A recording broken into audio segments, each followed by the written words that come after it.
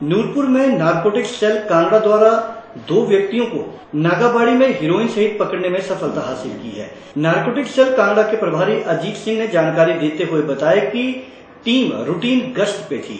एक car indica HP तिरसठ पैंसठ ज़ीरो पाँच जसूर से जब्बर खड की तरफ़ तेज़ी से जा रही थी। कार को रोकने का इशारा किया, लेकिन वे कार भागने की कोशिश करने लगी। किंतु घेरा डालने की वजह से उसे रोकना पड़ा।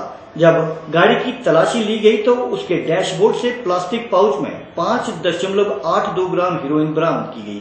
प्राप्त जानकारी के अनुसार आरोपियों की पहचान अरुण गुप्ता, सुपुत्र तरसेम लाल महाजन निवासी नागवाड़ी व महावीर सिंह, सुपुत्र अमरजीत नागवाड़ी तहसील नूरपुर के रूप में हुई है।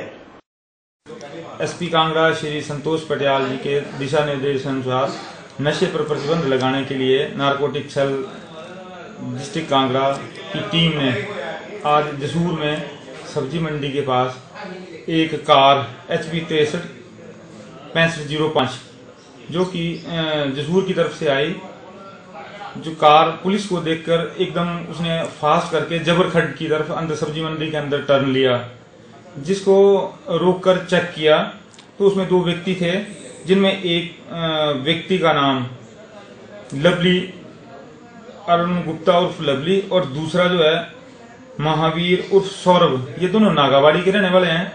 जब कार की तलाशी ली तो कार के डैशबोर्ड में पाँच पॉइंट बयासी ग्राम जो है हीरोइन चिट्टा बरामद हुआ है। सर, पहले भी इनके कोई मुकदमा दर्ज है या इनके परिवार के ऊपर कोई? अभी इसके बारे में जाँच की जा रही है कि पहले इनका रिकॉर्ड देखा जाएगा। कौन सी धारा के तहत आपने मामला दर्ज ये किया 21 और 25 जो नार्को एनडीपीएस एक्ट में इनको पकड़ा है और कार भी कब्जे में ली है।